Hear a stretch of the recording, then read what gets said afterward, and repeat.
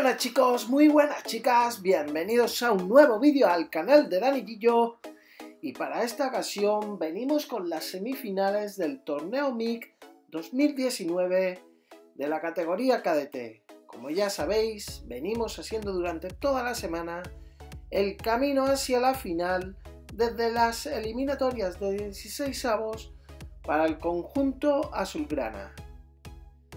En la final ya estaría esperando el español que había ganado al Real Betis su correspondiente semifinal y el Barça se encontraría para este encuentro al Gimnasti de Tarragona.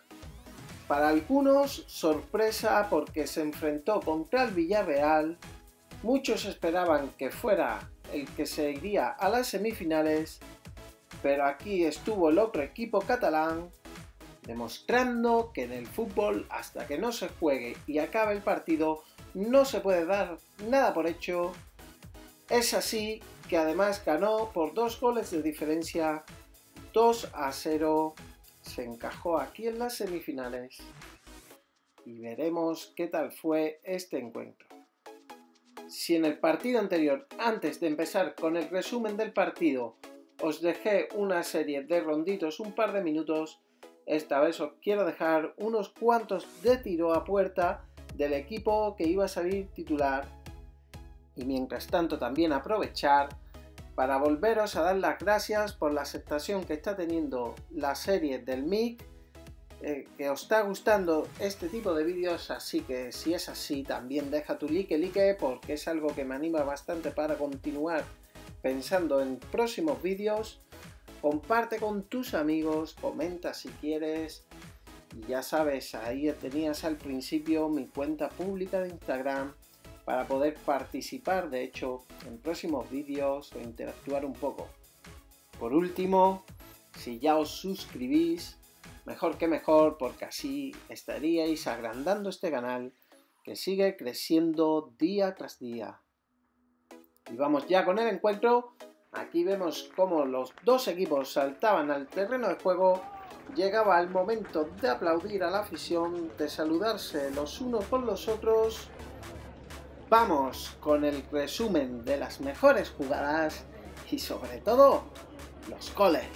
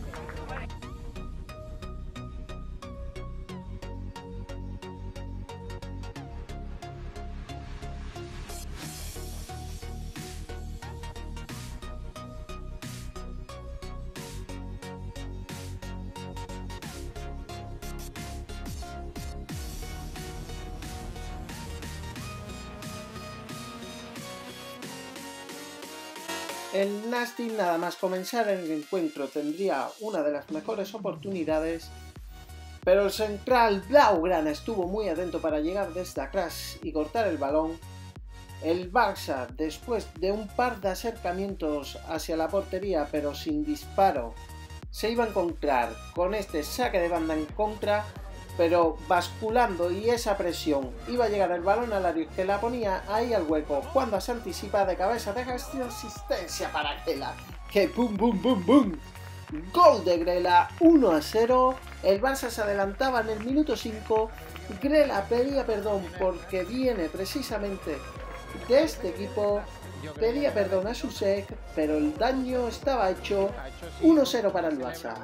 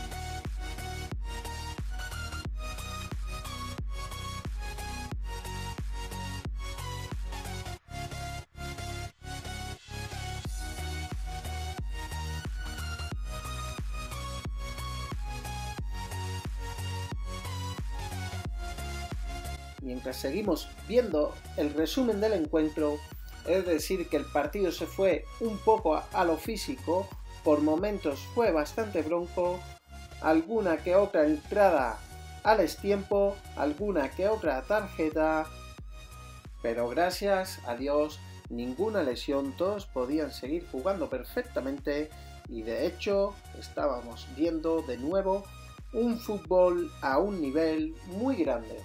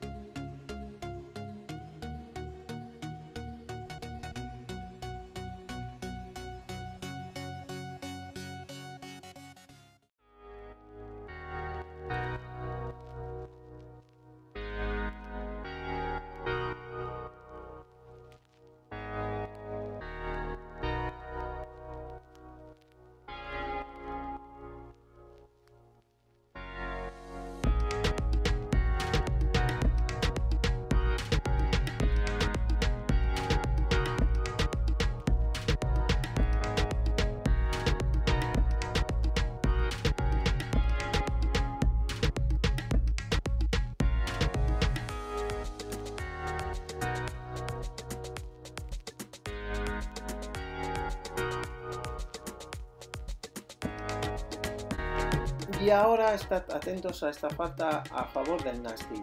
El portero la despeja perfectamente, controla Seidu, llega desde atrás Xavi Simon y como habéis podido comprobar muy a la izquierda de la pantalla, esa falta le iba a costar a este jugador su segunda amarilla. Justo antes del descanso tendría que irse al túnel del vestuario antes de tiempo el Nasty de Tarragona que se iba a quedar con uno menos.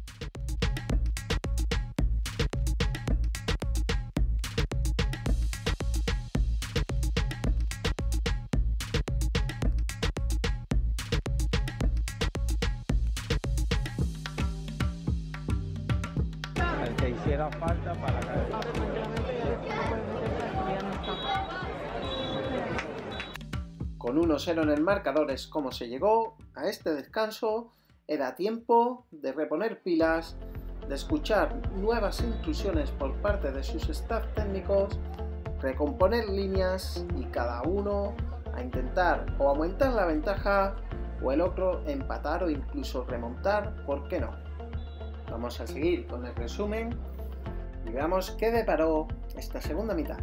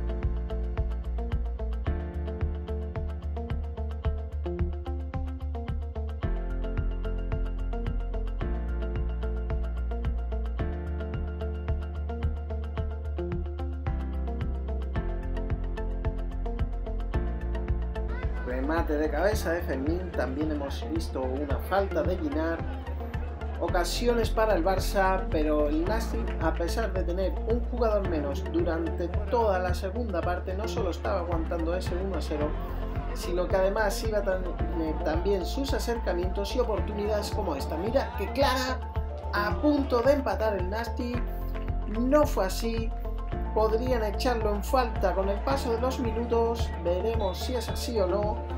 Ahora tenemos esta falta sacada por Chus, el remate de Gruyère de cabeza, el rechace para Fermín, gol pero gol anulado. Muchos no entendíamos dónde vio ese fuera de juego, si podría haber alguna posible falta. El caso es que no subía al marcador. Vemos esta galopada, este cambio de ritmo de Situ, el pase de nuevo para Fermín, que mirar qué golito marca, qué golito marca, pero que de nuevo no le va a subir al marcador. Dos goles para Fermín, dos goles anulados, fuera de juego muy justo, aquí no iba a haber bar hasta la final. Así que de momento el Nasty tendría sus oportunidades para empatar este encuentro.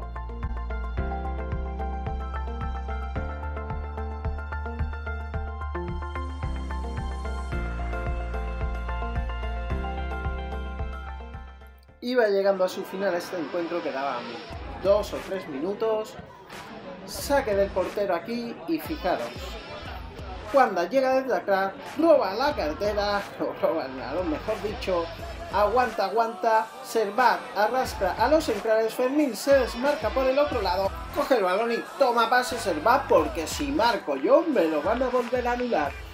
2 a 0, el Barça ponía una ventaja ya difícil de superar, no solo por tener uno más, sino porque además quedaba muy poco para acabar el encuentro. Muy cerca empezaban a ver esa anhelada final. Seguiríamos viendo alguna entrada al destiempo, alguna ocasión para el Nasty, precisamente traídas por este balón parado, pero el encuentro iba a finalizar aquí. El Barça celebraba el pase a la final. El Barça se iba a encontrar con el español. Iban a repetir final como pasara en el torneo de verano en San Gabriel. Ya veremos qué es lo que pasó. Y para finalizar, ¿qué les recordamos a los que han visto este vídeo, Ana? Suscribiros y like, like. Ya habéis escuchado, lo agradeceremos. Nos vemos en el próximo. ¡Chao! Suscríbete al canal de Daniel. Suscríbete al canal de Daniel. Suscríbete al canal de Daniel. Suscríbete al canal de Daniel. Suscríbete al canal de Daniel.